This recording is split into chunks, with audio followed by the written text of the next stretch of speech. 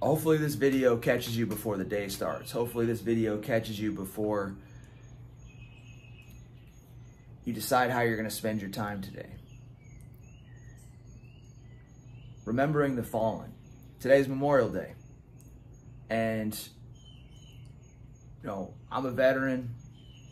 I think there's a lot of veterans that are on this channel watching this. If not, every but one of you guys probably knows somebody that served. And a lot of people get Memorial Day confused. They think it's a day to recognize and appreciate people that have served, and that's not the case. Today, today is meant to remember the fallen, remember the ones that paid the ultimate sacrifice, the ones that didn't make it back. And um, a lot of people are going to start their day today, and they think that the way to celebrate is by destroying themselves. You know, drinking their face off. A lot of people, they're going to feel the pain of losing somebody. They're going to feel the pain, the guilt that when you serve with somebody and they pass and you don't, you serve with somebody and they die and you didn't. Survivor's guilt can eat at you your whole life when you serve with somebody and they they end it themselves or something something happens in their life where they fucking die you wonder if you could have done anything differently. You wonder if you had made any decision differently if they would still be here even if the situation is completely outside of your control. And those feelings those feelings of guilt those feelings of fuck, man, I should have been there. I should have, I should have helped. I should have, could have, would have. I should have done something different and this person would still be alive. Those feelings will eat at your soul and hurt so fucking bad. A lot of people don't know what to do with those feelings. And so what they do is they escape them. They turn, they crack a couple beers. They turn, they say, we're going to barbecue. But then they use the barbecue as an opportunity to get tanked. They just get wasted all day. Tell me how getting wasted is a way to remember and to respect and remember the fallen. Because the fallen, they would want you to live a very fulfilling and full life. So tell me, how is it that we're honoring them by destroying our lives? I used to have this backwards too. I was the guy that when Memorial Day happened, I would reflect on my friends that had passed, the ones that I served with that had died, and I would turn to escaping, to celebrating. Like, why is that even a word that's associated with remembering the fallen and drinking? Remembering the fallen with drinking. We're going to celebrate. We're going to honor them with getting tanked? What the fuck? That doesn't make any sense at all. But somehow that got in my head. I thought that it was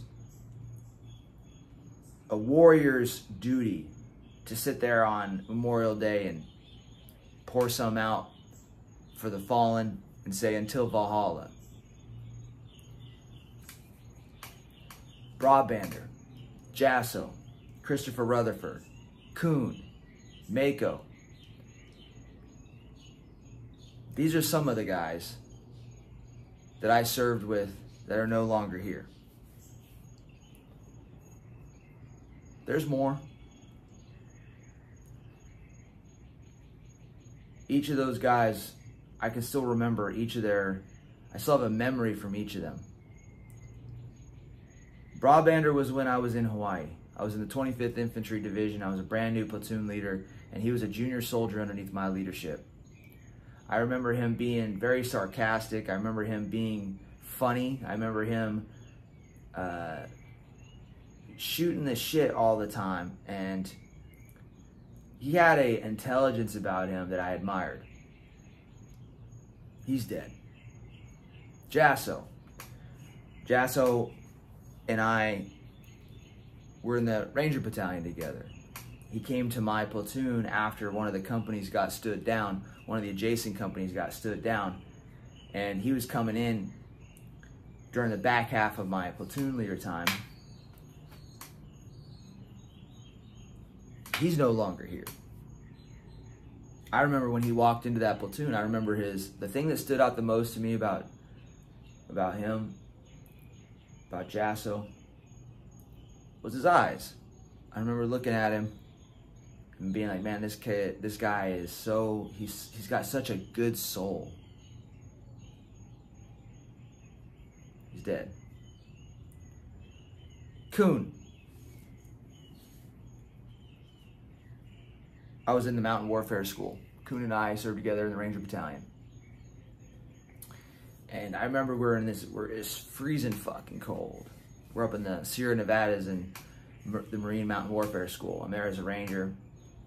And uh, if my memory serves me right, that's where this conversation took place.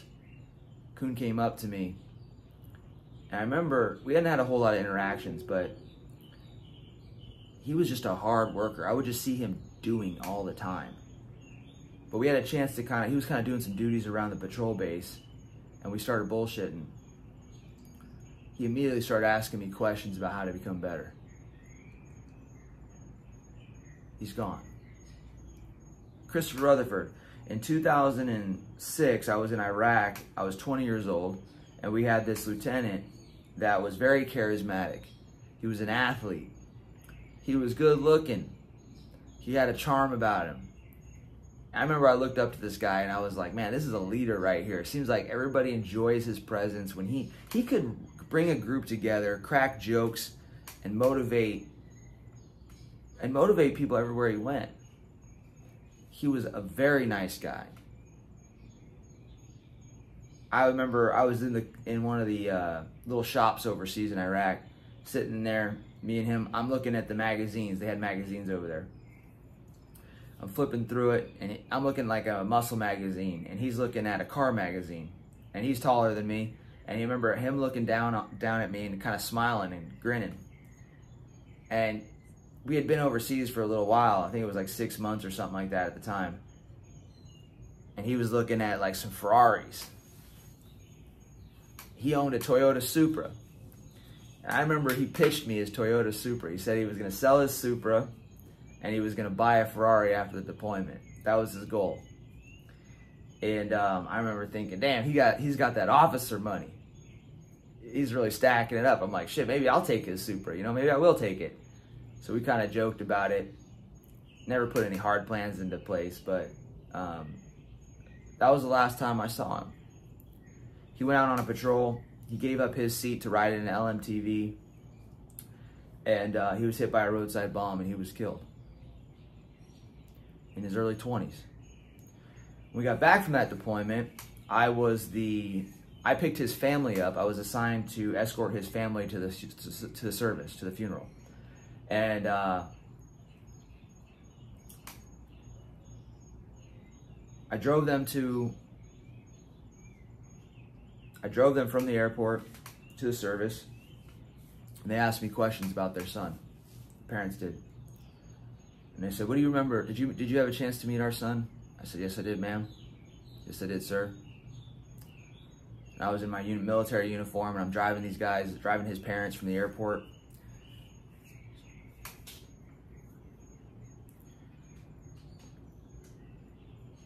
and uh, I must have been at that time. I must have been. I was in my. I was 21 years old. Driving the parents of a fallen soldier. I said, yes, ma'am, I did know him. I really liked him.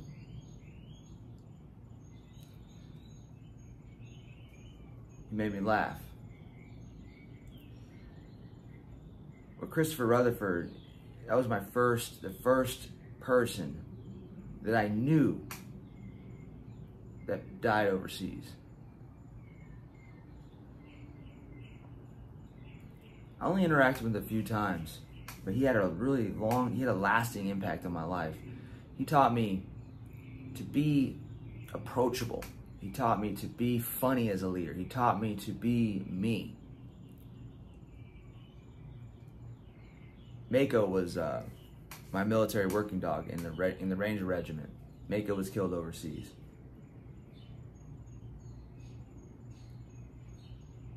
Guys,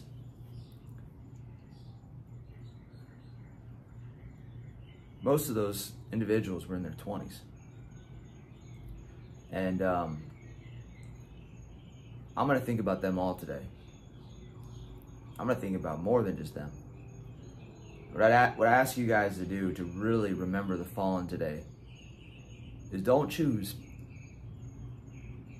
debauchery. Don't choose bad habits. Choose becoming better. All of those guys, maybe they would have drank a beer with you. But if they could tell you one thing, I'm sure all of them would want you to live a full life. And that doesn't mean getting tanked. They would want you to live a full life. So you need to do what you need to do to live a full life. I uh every single one of those guys, I wondered if I if I had done something different, if they would still be here. I don't blame anybody for their death. So if you know any of those guys, and maybe you feel responsible, because I know some of you guys, we know each other. Maybe we've even served together before.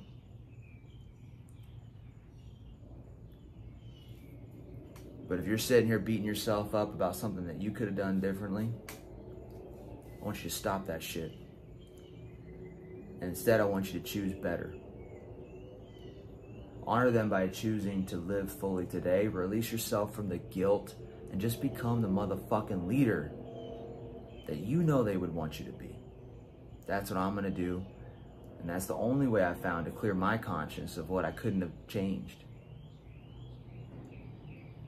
or what I didn't change or what it's the only way that I could have cleared my conscience. Remembering the fallen today, guys. Remember them. Choose better today. Live a full damn life. Get up, get that workout in. Read something positive. Study. Spend time with your family. Put in a good day of work, improving the lives of others. Talk to your family members. Bring them up. Bring your, everybody around you up. That's what we need. We don't need to bring everybody down. Get out here in the pool and everybody's got their drinks and they're spilling shit and starting to fight and pass out and get the fuck out of here with that shit, man. Or you, if you maybe you don't even party, you're just one of those guys that you drink alone, like that old song, right? I drink alone, yeah, with nobody else. Stupid, man. Choose better today. That's the way to remember the fallen. I love you guys so much. That's the message. Happy Memorial Day. I love every single one of you guys those people that did fall, the people that didn't make it back, the people that have passed, they are real heroes. And um, none of us are to blame for their loss, and all we can do is remember the good, remember what they taught us, and just live better lives and bring others up alongside us. I'll see you guys in the next video. Conquer all.